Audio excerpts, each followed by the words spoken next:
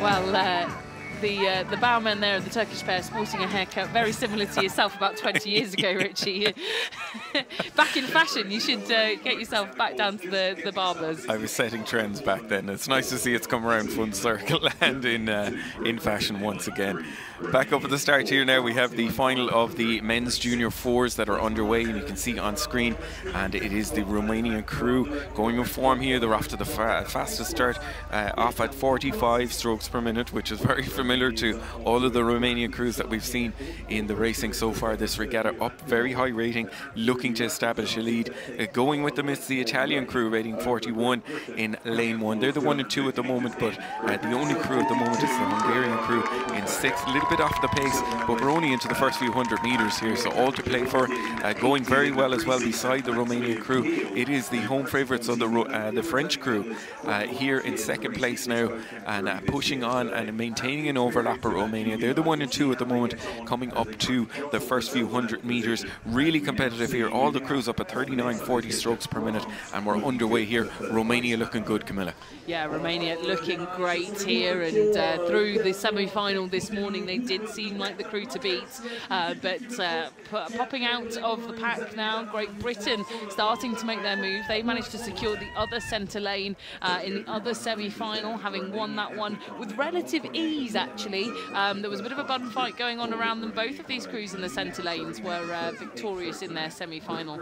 Uh, and Great Britain here going for the title defence uh, with a, with a all different crew, as we mentioned in the coverage earlier. But they're just nipping at the heels of Romania here, both France and Great Britain. They've still managed to secure a little bit of overlap.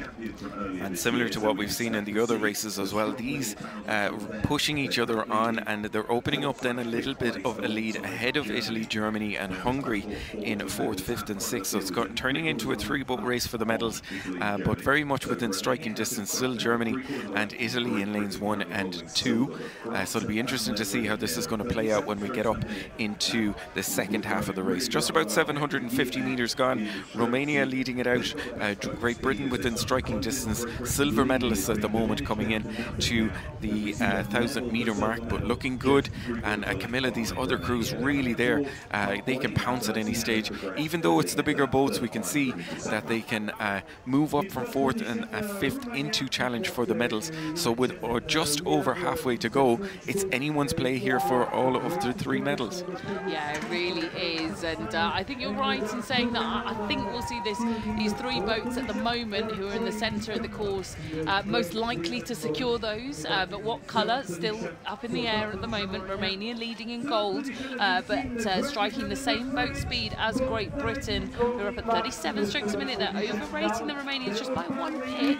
Um, but this is uh, a great performance here by the French as well. High hopes on this French crew who uh, have had a really impressive regatta. And again, we could see potentially here the first medal for the French uh, on home water. So lots of support for this French crew, I am sure. And they've pulled up right alongside Great Britain here uh, through the uh, centre part. We've gone through the halfway timing marker. Romania uh, led out by uh, just under two seconds ahead of Great Britain and uh, right alongside France, still very much in the running.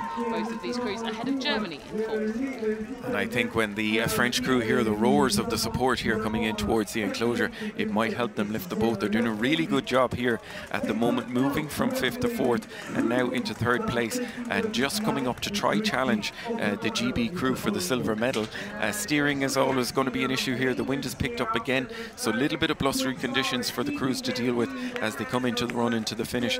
The course does open up in the second half of the race, which is why you might see a little bit more splashing uh, from the blade work that's taking place, uh, but definitely not affecting the boat speed too much uh, for the Romanians. They're in full control here. They're starting to power on now, but this French crew really impressive uh, putting it up to GB, but GB responding now, Camilla, and coming back to challenge for that silver medal. Yeah, coming back to challenge for that silver medal. They're just uh, allowing Romania to slip out of their grasp somewhat. Um, every stroke that Romania takes, it's uh, just pushing them that little bit further ahead of Great Britain. We're through 500 metres to go there. You can see the timing marker on the right-hand side of the screen. Great Britain have pushed a little bit more time into France, though, uh, getting a little bit more solidified in that silver medal position. But here come Germany, look. Here's a massive push from the German crew. Maybe we spoke too soon when we said that the medal's probably to be between these three crews out in front because the Germans are really pushing on to France here. So the blue line of uh, boys that you can see in the background are just indicating that it's over 250 to go and the run into the finish. The Romanians powering on again. They're up at 40 strokes per minute. In full in full control here, uh, but it's all about the race for silver, bronze. And the Germans on a charge here. GB responding as well, looking to hold on to the silver medal with the French challenging now coming up towards it. But it looks like the GB crew just a little bit ahead. It's going to be the race for the bronze here between Germany and France, and they might just reel in the Great British crew. Yeah, I think Germany are reeling in Great Britain here for silver. This would be the performance of a lifetime for Gimplinger, Rasteta, uh, Rasteta, Flöter and Salzmann in the German crew. We saw the German fans there willing them on. Have Great Britain got one more gear to respond here to France and Germany? No doubt Romania will be on top of the podium here so long as they can keep clean in the final 10 strokes. It's been an amazing performance for them and I think the Germans have now pushed through Great Britain. Indeed they have. Great Britain also being pushed back from France. Could we see the French first medal? I think we will here. GB will be in fourth, France in bronze, Germany in silver and Romania in gold. A huge celebration there from Konstantin Flotschia in the three seat for Romania. A big pat on the back and look at that, the German fans are enthralled by that performance. France here, first medal of the home championships in Paris and you can see what that means to them. Absolutely great to see for the French crew. I think these were just four friends who put together a crew to come through the trialing system and now there they are with a medal at the Under 19 World Championships. A really strong finish from the German crew to surge in uh, to take second place there ahead of France and Great Britain back in fourth through everything at the race there. GB uh, leading it out in the early stages along with Romania did their best to hold on to second place but just the charge of the French and the German crews was unbelievable there in the last 500 and we were saying it's normally the small boats that you see the lead change or medal positions change when you're running to the finish but what an amazing race there to see uh, the French and German crews and the four the bigger boats coming in to power their way into the medals. Yeah, amazing from uh, from that German crew in particular, I would say a brilliant performance, wonderful from the French there to claim a medal. And uh, we'll see the medal ceremony in just a moment's time for the uh, under-19 women's fours. And uh, we'll watch these guys coming into the podium there. France uh, will be delighted and although no anthem here for bronze medal, but uh, the sense to stand on the podium uh, in and amongst your home crowd on home water uh, on the run up to an Olympics and a Paralympics must be pretty cool for, uh, you know, if you're 17, 18 years old. Absolutely. You can imagine that a lot of their families and friends will be here as well to uh, see that take place. So huge uh, congratulations to them and great to do it. They're just in front of us here at uh, where we're stationed on the opposite side to the tower. We're watching them there punching the air in jubilation for their bronze medal. Uh, really well done to them. They're paddling up now to the medal presentation along with Germany and Romania.